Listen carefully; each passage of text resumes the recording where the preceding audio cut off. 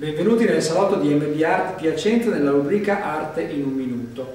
Oggi vi presentiamo un'opera di Letizia Lanzarotti in arte Lady B. È un'artista neopop, ripropone la pop art in chiave moderna, la popular art, l'arte popolare in chiave moderna.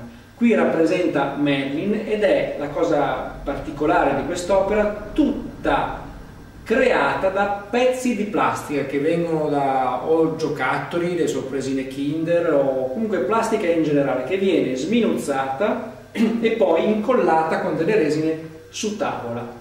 Per cui da lontano voi vedete l'immagine e l'espressione, in questo caso di Marilyn Monroe, da vicino invece, se scendiamo nel particolare, vediamo appunto i giocattoli. Questa è la testa di un topolino rovesciata, piuttosto che il viso di una Barbie e via discorrendo. Grazie.